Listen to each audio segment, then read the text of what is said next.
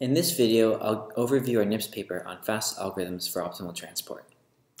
Let me begin by highlighting our main contributions. First, we show optimal transport can be computed in near linear time. We do this by leveraging a known reduction to the problem of matrix scaling, and then focusing on fast algorithms for this. In particular, we give a new analysis of the classical sinkhorn algorithm, showing that it converges in L1 in near linear time.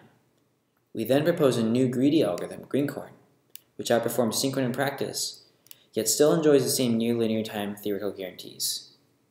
I'll now introduce the problem of optimal transport. This is the problem of moving mass from one probability distribution to another in the cheapest way possible with respect to the underlying metric. A famous special case is the Earth mover's distance, which computes distances between histograms. Recently, these tools have also been used in computer graphics applications that require extreme scalability.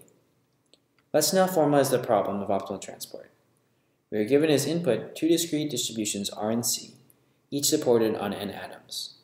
We are also given a cost matrix, which tells us the cost of transporting one unit of mass from each atom of R to each atom of C. The task is then to transport the mass from distribution R to distribution C in the cheapest way with respect to this cost matrix. Mathematically, this amounts to the box linear program. The decision variable P is a joint distribution with marginals R and C. P can also be thought of as a matrix with row marginals R and column marginals C. Our main result is an algorithm that outputs a feasible matrix P hat, whose objective value is within epsilon of the optimum. The runtime is near linear in the input size, since the input cost matrix has n squared entries. A key idea is to optimize a slightly different objective by adding a small regularization term. This makes the problem easier to solve while not changing the solution by too much. This idea was introduced in a seminal paper by Marco Cuturi, but they did not give theoretical guarantees. In our paper, we show that a version of this algorithm provably runs in near linear time. A key fact is that the solution to this regularized problem can be computed by solving an auxiliary matrix scaling problem. This amounts to scaling the rows and columns of a certain matrix, so, as, so that its resulting marginals match the desired marginals R and C. So in conclusion, to compute optimal transport, it suffices to solve matrix scaling.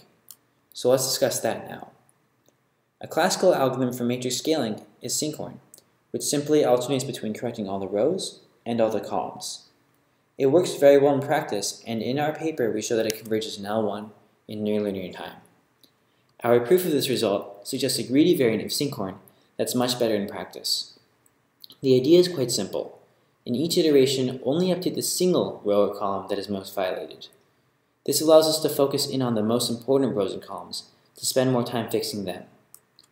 Greenkhorn performs much better than Sinkhorn in practice, but I must stop now, so please see the paper for details.